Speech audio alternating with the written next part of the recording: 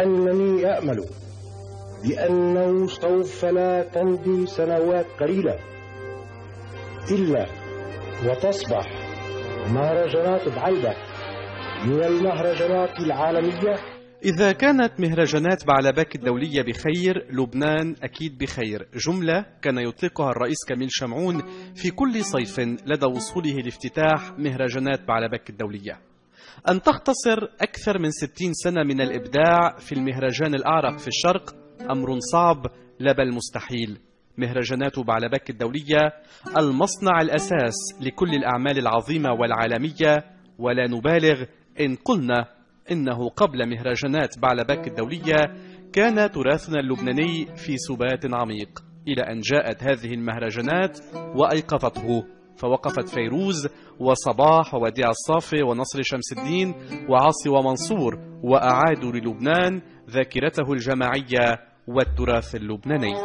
من سنين العز اللي عشناها والجمال كان كل السنين اللي عملنا فيها بعلبك كان لبنان بأهم المرحلة الجمالية والحياتية. وبعلبك هو أساسا مكان تاريخي مهم. الغنية فوق بيتغير إحساسها ببعلبك الوجود ببعلبك مهم كتير. بيضيف كتير على على الفن يعني. بيعطي بيوحي وبيضيف على الإنسان بحس حاله بمكان في ناس كتير في جمال كتير مرق قبله. هذا بيغني كتير الوجود والفن.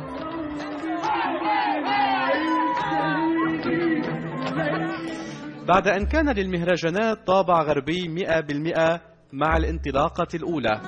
فمع الأخوين رحباني وروميو لحود أصبحت الليالي اللبنانية محطة ثابتة وأساسية من ليالي صيف لبنان.